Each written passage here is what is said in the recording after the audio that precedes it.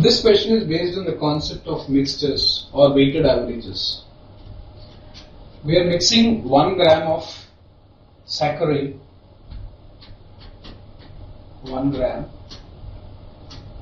with some x grams of sucrose whose sweetness is 1 to arrive at a resultant mixture whose sweetness is 74 since it is 100 times as sweet as glucose.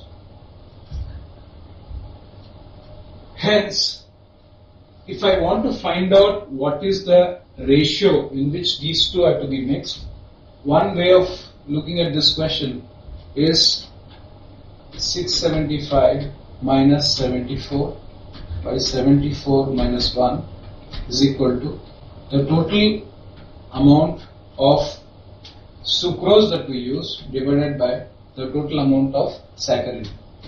So this ratio is approximately equal to 8 by 1. Hence for every 1 gram of sucrose that we use, we need to use uh, 1 gram of saccharin, we need to use 8 grams of sucrose. Hence the appropriate answer is B.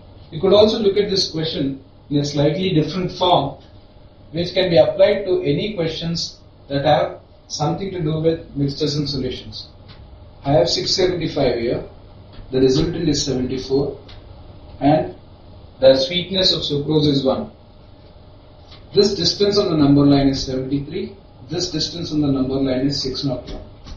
So the ratio of these distances, if you take it approximately to the nearest gram, is 8 is to 1.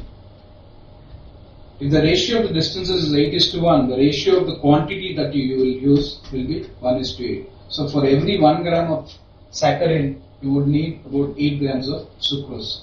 Even in this case, the answer happens to be 8.